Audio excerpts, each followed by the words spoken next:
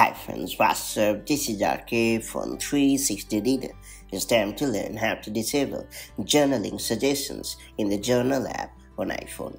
Apple's Journal app allows you to record your daily thoughts, activities, incorporating data like photos, music listened to, workouts, and more.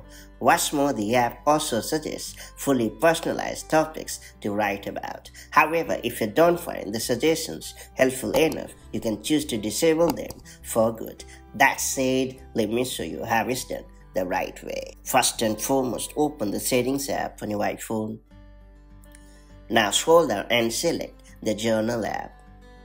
Under the New Entry section, toggle on the switch next to skip journaling suggestions and you are good to go. You have successfully turned off journaling suggestions on your iOS device. When you next tap to create a new journal entry, you will jump straight into the writing screen. Later, if you ever happen to change your mind, go back to the same journal setting and then turn on the toggle next to journaling suggestions and that's pretty much it. So that's how you can easily enable or disable journaling suggestions in the journal app on your iPhone.